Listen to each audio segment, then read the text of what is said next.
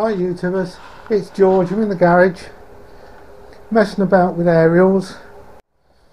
Here's the uh, matching coil at the top which is where the coax goes and it's made up of um, brake pipe. And then the bottom for tuning is two capacitors, one's for fine tuning and one's for coarse tuning. Uh, it's got a very high Q and I have used it for transmitting on with about 3 watts on the HF band. But I'm going to sort of modify it and have it for just listening or monitoring the HF bands. Excuse me. The only trouble is I did have an active amplifier that I could connect to it but I didn't think I'd use it again. And I actually gave it to one of my neighbours who's into radio. Uh, so I've got one on order and the kit's about £7 for an active aerial amplifier. And uh, so I've got it open and it's I can extend it up on this um, lighting tripod. The only problem is at the moment it's blowing a hoolie out there and because there's hardly any weight to it it's more likely going to blow over in the garden. And I need to sort out the coax lead. That's long enough for it because I don't know what I've done with it and uh, I quite like making stuff.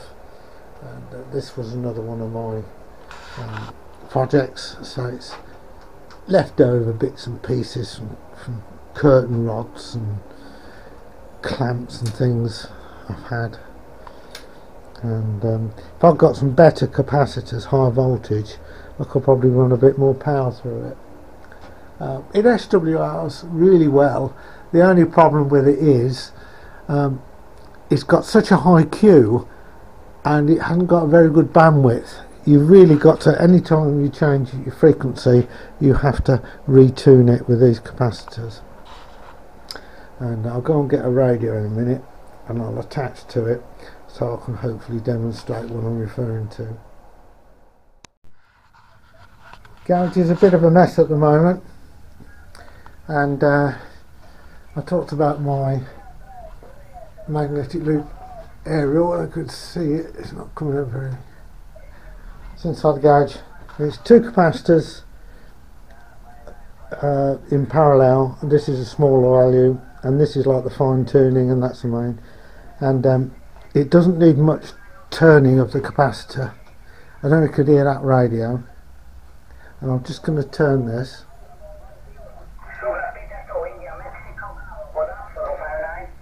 Can see it's turn it just a fraction. and then right that's me turning it off tune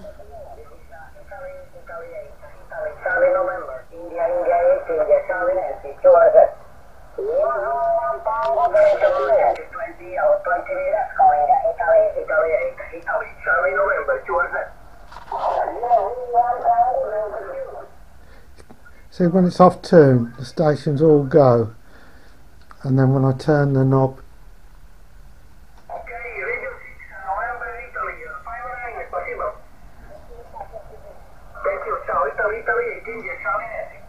Delta Bravo 8, Delta America Zulu.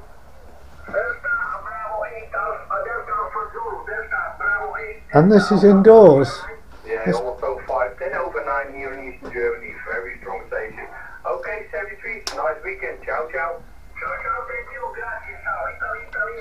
And this is my magnetic loop inside the garage.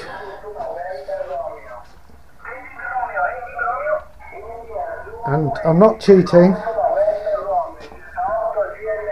Let's turn the radio off. The cable goes down here. There it is.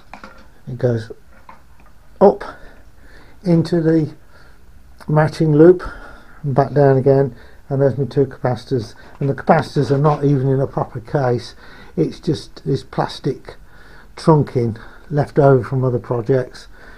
I think this white pole was a curtain pole.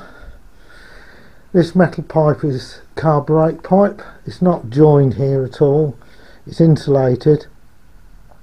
This clip here um, is changes it from the um, 20 meter band to the 40 meter band and all it does is put an extra capacitor in circuit which I think is 100 picofarad. I don't know you can see there's a little blue capacitor there. And all it does is add another capacitor in parallel with the tuning capacitors. And um, yeah I'll switch it back on again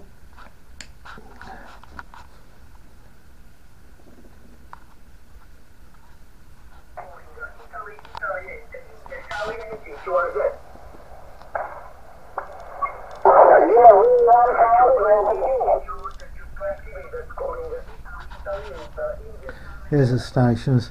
This is FT8 here, I think. Let's go up the bands.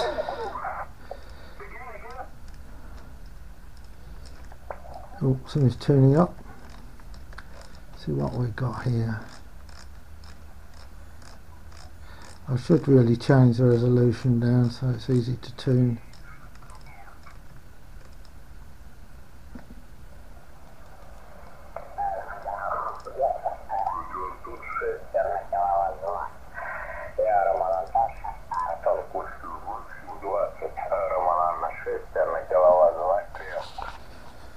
Let's see if I can tune up the signal. Oh, it's gone.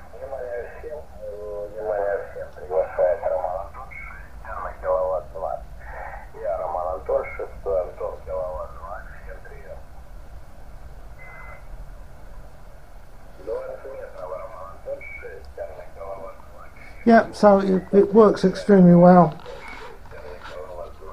And I say it's inside the garage, and this is a, a lighting tripod, and I can extend it up to almost my height. So this comes up nearly to five foot. Um, all the sections are down. I can't put it up any, any further in the garage. But um, thanks for watching this little video of mine, and please subscribe and like.